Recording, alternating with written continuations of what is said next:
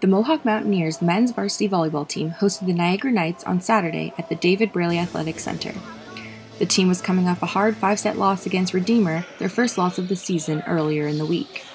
Lack of net presence and sloppy play allowed Niagara to take the first two sets 25 to 20 and 25 to 18. The Mountaineers turned it around in the third and fourth, claiming the sets 25 to 12 and 26 to 24. This forced a fifth set tiebreaker. Ultimately, a lack of team cohesion led to another loss. Bryce Markison plays middle for the Mountaineers. He spoke after the loss. We had a game plan set and we weren't following it much in the first two sets. Uh, we had a hell of a comeback. Like we fought really well and uh, we started to come back to our system. We have set and uh, it sucks we lost, but uh, it's next. Uh, we'll come back in the new year and hopefully beat them next year. Matthew Schnarr, the team's head coach, was upset by the second loss of the season.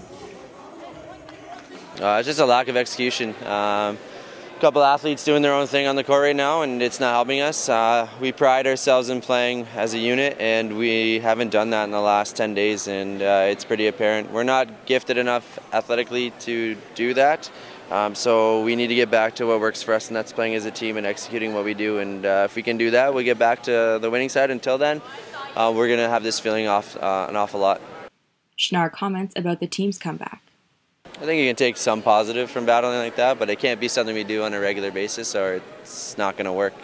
The Mountaineers will try to break their losing streak when the season reconvenes in the new year. They will take on the Niagara Knights again on January 14th. For Mohawk College Journalism, I'm Hannah Jackson.